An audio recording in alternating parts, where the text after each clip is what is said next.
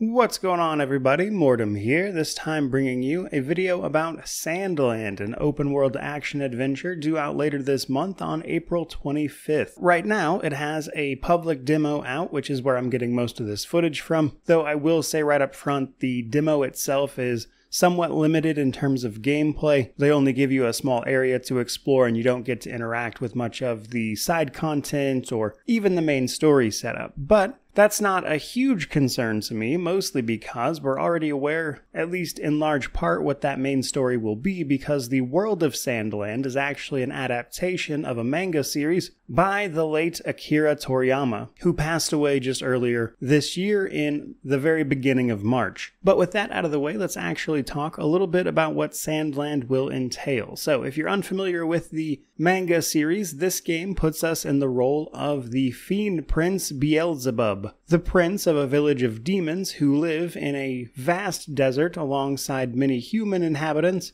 all of whom are fighting against the local king for the simple access to water because the king is hoarding all of it, prices are only skyrocketing, and obviously everyone needs water. Thus, it falls to our character, alongside his demon cohorts, to take the fight to the king to secure water for everyone, which is what forms the bulk of the story. What makes Sandland interesting, though, in that regard at least, is that it's actually going to extend beyond where the manga itself ended, which means that later into the game, you'll actually be in a vast forest which has its own set of problems you'll also have to deal with. From there, though, let's talk gameplay. This comes down to running around as Beelzebub with his companions, his personal assistant, if you will, a demon named Thief, alongside a Sheriff Rao, which I may or may not be mispronouncing, all three of which will have their own skill trees as they run about the world and level up, increasing their skills, making them more effective in hand to hand or vehicle combat. So there are some basic RPG elements there, but it doesn't look like anything too crazy or deep, as most of that seems to be attached to the vehicle combat. As you've probably seen on screen up to this point, Sandland is going to feature many different vehicles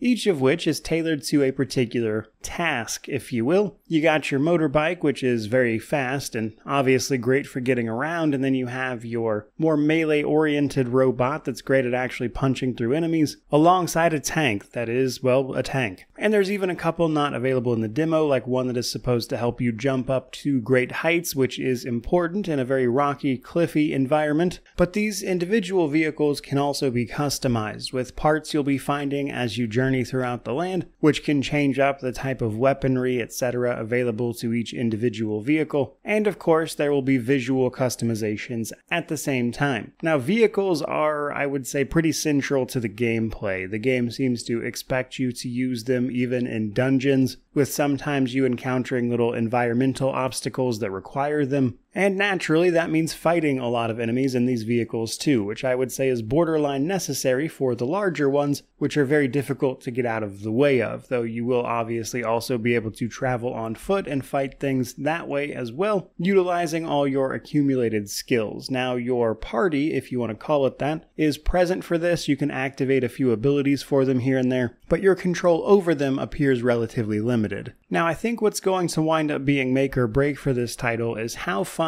this world winds up being to explore, because as I mentioned in the demo, you can't go into towns, and we are locked into a relatively small area which means we only really get to see a handful of dungeons, but even that is enough to get an idea of how it works. Basically, there's radio towers around. We're going to go to them, fix them up if we can find the appropriate parts to do so, which is going to give us access to information about our surrounding areas and then presumably content to go take care of. And that exploration, tied to any meaningful side content, I think is going to make the bulk of the gameplay outside of the main story. Now, while this is an action oriented game, there is also supposed to be a working stealth system, but that doesn't really get a lot of play in the demo either. However, in things like the trailer for the game, etc., they show you sneaking around an enemy camp and presumably making even more use of this. So I'll be curious to see just how involved that system winds up being at the same time. And the very last thing I want to leave you guys with is that at some point you'll be fixing up a base called Spino, Spino, something to that effect, which will involve rounding up exiles in the desert to come move there growing both the town and what it can do for you, which I think will add a certain dynamic element to the gameplay potentially, which sounds intriguing, though for the sake of this video, I'd say that's just about everything there is to mention. Broadly speaking, for myself, I think the art is pretty gorgeous, as you might expect, given the creator of the world. And in that regard, it feels very smooth to wander around what is available to you, given that it's primarily one biome.